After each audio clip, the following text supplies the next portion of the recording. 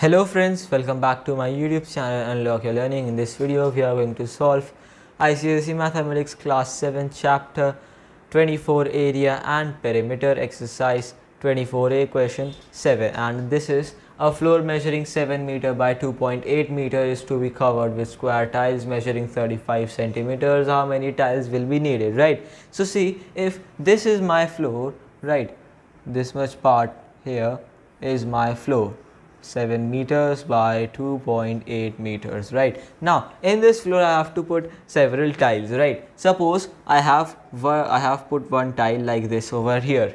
So and the dimensions measuring is 35 so this tile is a square right? And each of its side is of 35 centimeters right? So you see that we have to tell that what is the number of tiles that can be put in your uh, floor right so for that what we'll need to know is the entire area of the floor including this tile every single thing. So area of the floor is required. What else is required is that area of the tile right? So area of the floor area of the tile. Two things we have to calculate. And after that we will divide area of the floor by the area of the tiles. Do uh, using this method we will be able to find number of tiles which are required right so you see here going to be very simple. See first of all we will uh, we know the dimensions of the floor right? So area of the floor right?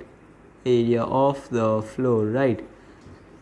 So what will the area of the floor be? See this is 7 meters into sorry not meters right? Just remove the units for now because we are doing calculations right? So 7 into 2.8 right? This will be the area. So see uh, 7 into 8 is 56 and 5 14 19.6 right? 19.6 what square meters right? Now this is the area of the floor and but one more thing we have to see the units right? See this that the square tile is of centimeters the dimension of square tile is in centimeters but the dimension of the floor is in meters and area also is in meters. So we will convert this area which is square meters into what? Into square centimeters right? So one thing we need to know is the conversion. So see here that uh, 1 meter has what? How many centimeters? 100 centimeters. So 1 square meter will have how many centimeters? 100 into 100 right? If we put square here then here also it will be squared right? So 100 into 100 so this much is in 1 meter right? 1 square meter has 100 into 100 centimeters. And if I talk about uh, so basically let me just multiply this. So 1 0 0 0 right? Centimeters. Okay square centimeters. Sorry here and here also. Now you see that this is the relationship. And if I replace this one with our total area that is 19.6 square meters. So what will we do here? Simply if here it was 1 square meter and it was 10,000 square centimeters so when it is 19.6 square meter it will be 19.6 into 10,000 square centimeters. Okay that will give us what?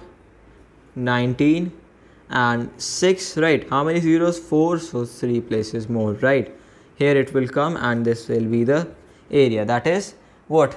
19000 sorry 1 lakh 96000 uh, square centimeter right? This becomes our total area of the floor right? So simply uh, in 1 meter there are 100 centimeters so 1 square meter will have 100 into 100 square centimeters. So 1 square meter has 10000 square centimeters. And if we talk about 19.6 square meters so simply multiply 10000 by 19.6 you get the number of square centimeters. Now uh, now second thing we need to find is what? Area of the uh, this tile one tile right? So area of one tile becomes what? 35 into 35 right? So this will be what? Let's do the multiplication here. Okay. It doesn't matter where I do. So 35 into 35 becomes 525 and 2 so 175 15 110 right? 5 12 1 2 right? 1 2 2 5 okay. 1 2 2 5 what square centimeters. So 1225 square centimeters. Now now number of tiles. Moving on to the last step right? So number of tiles. What is it going to be equal to? Area of floor.